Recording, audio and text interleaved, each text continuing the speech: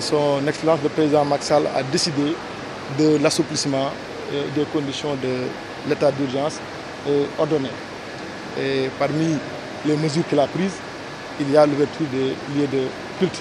Et pour éviter la propagation du virus, à travers notamment les mosquées qui sont fréquentées par les populations durant les derniers jours de, Ramadan, le président Maxal a décidé que le port de masque soit obligatoire dans ces lieux de, rassemblement. Et fidèle à sa ligne de défense et de protection des populations, surtout dans le contexte du Covid-19, son excellence le président Maxal nous a instruit de distribuer gratuitement ces masques barrières dans les lieux de, culte.